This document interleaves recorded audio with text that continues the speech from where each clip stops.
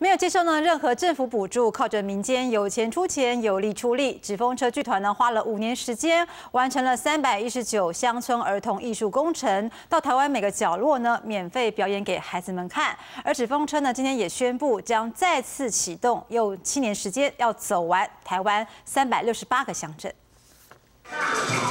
大风车将再次启动，纸风车剧团今天宣布，将用七年时间来完成三百六十八个乡镇市区儿童艺术工程。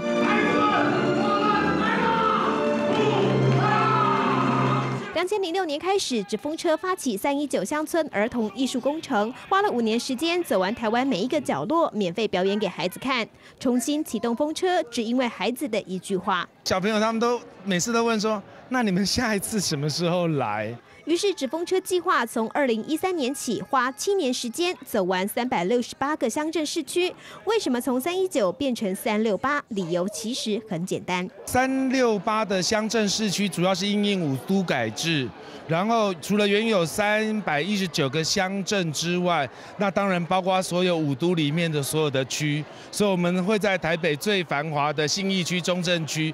我们也觉得在中正区、信义区其实还是有很多孩子没有看过表演啦。虽然要走的地方变多了，但不变的是纸风车要一本初衷，不向政府申请任何经费，完全靠民间力量，有钱出钱，有力出力，完成这一场为台湾孩子的艺术工程。因为台湾现在很麻烦，只要谁跟谁拿钱，难力的问题全部出来，而且我相信台湾民众的热情会赢过。政府的主动施予。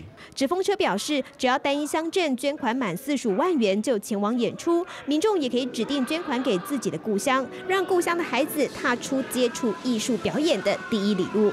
记者许恒慈、庄志成台北报道。